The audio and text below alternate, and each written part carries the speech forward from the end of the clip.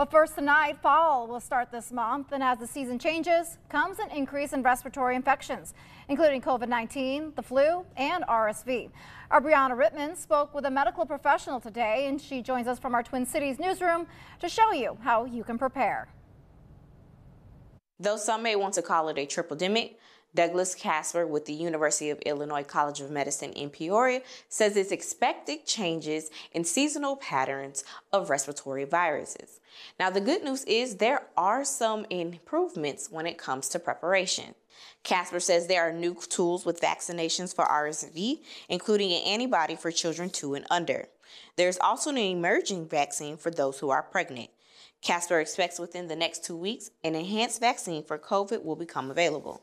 He says vaccinations are how medical professionals prepare for COVID, the flu, and RSV. Where this used to be a, a pandemic where um, things were happening off of calendar cycle or they were ex- unexpected, this is much more of a pattern of predictability and that we know that these things are going to hit. It's just that they're going to hit at the same time. And that's where we're starting to put a little more attention towards it.